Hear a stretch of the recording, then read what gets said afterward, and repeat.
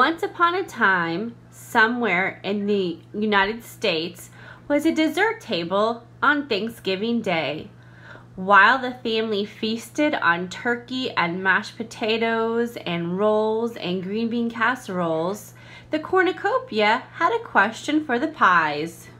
So, pies, tell me, I heard authors write for pie. Does that mean only authors eat Thanksgiving? Does that mean that only authors eat pie? No, Cornucopia, I think you misunderstood. Pie stands for the author's purpose. An author will write to persuade the reader, to inform the reader, or to entertain the reader. Right now, I'm reading a persuasion article. The author is trying to share his opinion about being too busy. He is trying to get us to slow down and enjoy the little things. He's trying to persuade us. I right now am reading an information book about the pecan tree.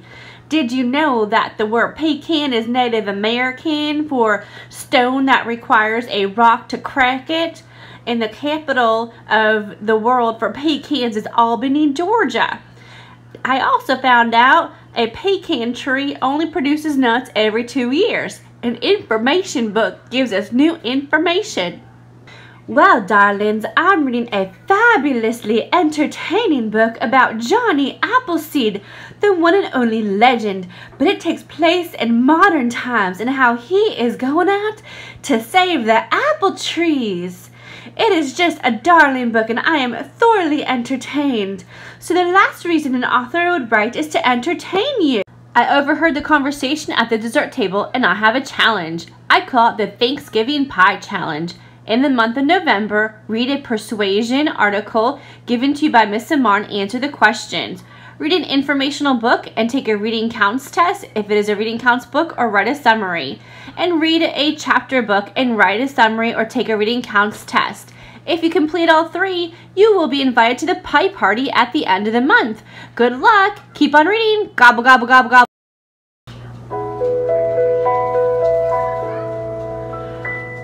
Okay, did you get your application? Make sure you go get it today.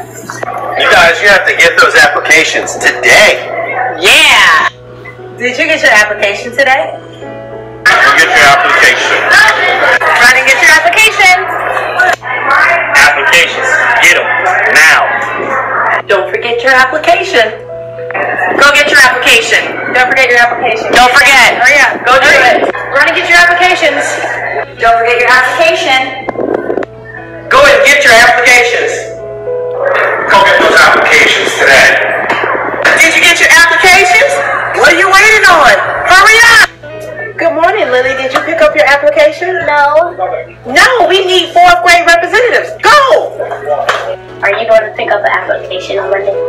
I go? The box office.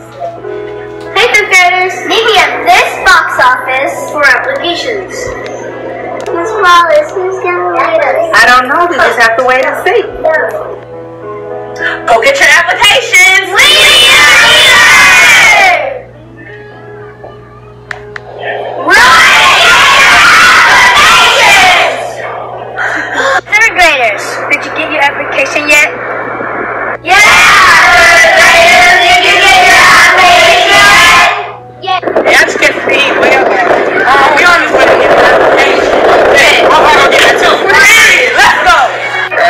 Man, I just can't read. Well, that way to get the application. Let's do it. Let's do it. All right. Bring those applications right here to the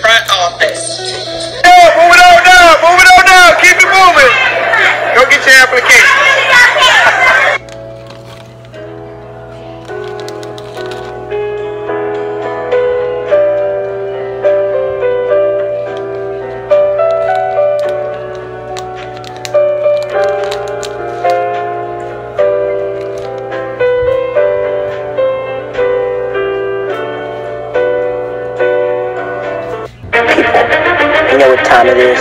Decision time.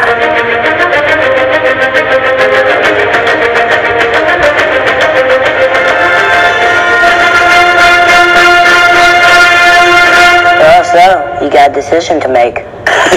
don't worry, don't worry. You make decisions all the time, like what to eat, what to buy, what to wear, how to spend your time, who to spend your time with, what you're gonna say, how you're gonna say it, whether or not you put on the dinosaur costume and skate through town. Hey, it's an option, and I'm proud of it. Researchers found this. We make thousands of choices each day. Thousands of them. In fact, the more responsibilities that you have, the more choices you have to make. There's options all up in your face all the time. And on top of all this, with each choice comes a consequence.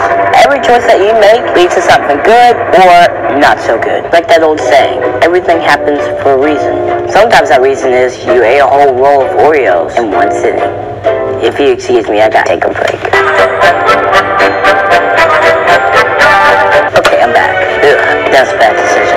You're watching this video, that means you're awesome. Congrats. You're awesome. How will you make awesome choices? Here's a few choices for how you can make choices. You could be impulsive. Don't even think about it. Just mindlessly point, take, and do whatever. Disclaimer, I don't recommend this choice for making choices. Now you can do it, but it'll lead to mixed results. It's especially dangerous while picking your wardrobe or defusing a bomb. Can't be impulsive then. Another choice you have when making choices, don't do anything. This is a choice to not make any choices, which is a poor choice. Just stand there, wait, do nothing. It's an option, it's always an option. You could say nothing, do nothing, but uh, fair warning, then you'll be nothing. Just saying. Another choice for how you can make a choice. Just be a follower. Yeah, just do what everyone else is doing. When you're a follower, you don't really have to think. It's really simple. Just look around, see what everyone else is doing. Is everyone just complaining about something? You can do that too. Is everyone doing what everyone else is doing? You can do that too. Is everyone eating an entire row of Oreos in one sitting? Just do that. Uh-oh. Excuse me. Sorry, I'm back. I have to make better choices. So being a follower, you can make that choice. It's just a really big problem with that. The world needs you. So how's about this? Focus on being someone worth following. I like that choice. Another choice how you can make your choices, be thoughtful. Warning, this requires thinking. It takes some thought to be thoughtful. But thinking, that's something we should do more often. Think about what do I care about? What's important to me? What kind of world do I want to live in? Do my choices help create that world? I want to live in a world with more dancing. So what do I do? A little bit of dancing.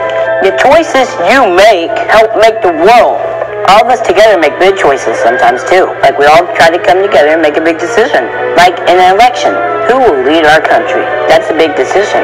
Whatever happens there, there's something that you can't forget. Just how powerful you are. There are no small people and there are no small choices. You, you're making big choices every single day. And they make a big difference. Whether you're president in the big fancy Oval Office or not the president, or just a cable with a cam phone and some cardboard.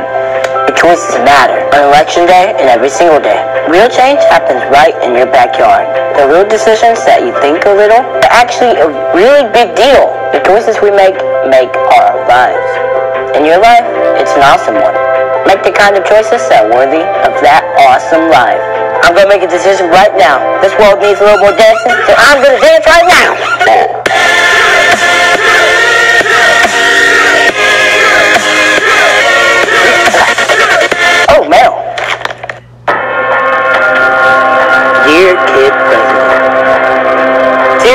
Why won't you answer my question? You're not really a kid anymore. You can't be Kid President forever. They wrote this in all capital letters. Um, I don't know. I don't know. Growing up so hard, I, I, I don't know. This is, I don't know. Oh, well, I see we're out of time. Hopefully I can answer that next episode. Bye.